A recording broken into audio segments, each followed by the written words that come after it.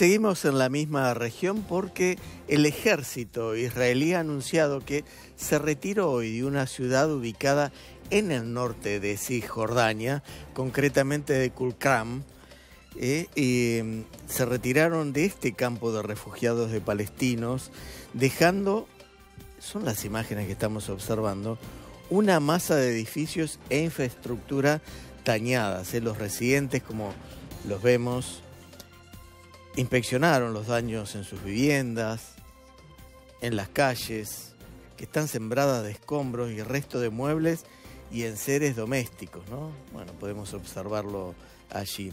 Las fuerzas israelíes han estado llevando a cabo una serie de operaciones eh, en el norte, como les decía, de Cisjordania, durante las últimas dos jornadas, con extensas incursiones en Tubás, en Yenis y en esta ciudad de Tulcán.